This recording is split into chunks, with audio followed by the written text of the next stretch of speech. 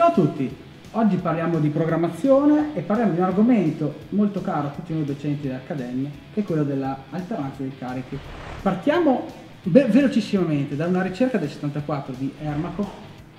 che ci dà delle informazioni molto interessanti, cioè queste sono le settimane, questa è l'intensità. A,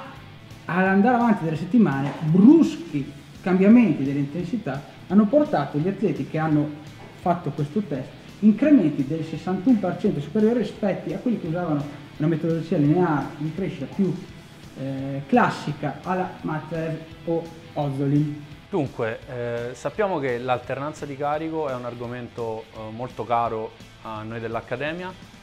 però dobbiamo anche capire che nel momento in cui l'andamento della mia programmazione tanto più è lineare, tanto io tanto più io avrò bisogno di un'intera settimana di scarico. Mentre se io ho un'alternanza delle intensità di seduta in seduta, sarà sufficiente di tanto in tanto avere un calo del volume o anche possiamo considerare l'NBL che è il numero di alzate eh, settimanali svolte dall'atleta attestabile tra un 20 e un 30% di riduzione perché eh, diciamo diminuzioni inferiori a questo target qua sono poco percepite poi dal soggetto, poco consistenti e non creano quel, quell'effetto di drenante rispetto alla fatica e all'accumulo di lavoro. Quindi per chiudere, ehm, appoggiandoci anche a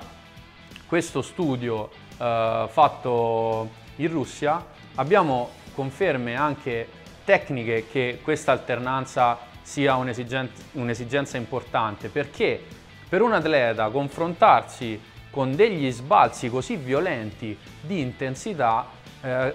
lo mette in condizione di dover per forza consolidare le sue abilità motorie. Magari ehm, possiamo anche dire che sbalzi un po' meno violenti sono più adatti invece a chi deve ancora costruire il suo movimento. Assolutamente e ancora di più per chiudere ricordiamo che avete due modi per alternare i carichi, di seduta in seduta, cioè banalmente una seduta pesante segue una seduta leggera, il classico stressante, stimolante, regenerante,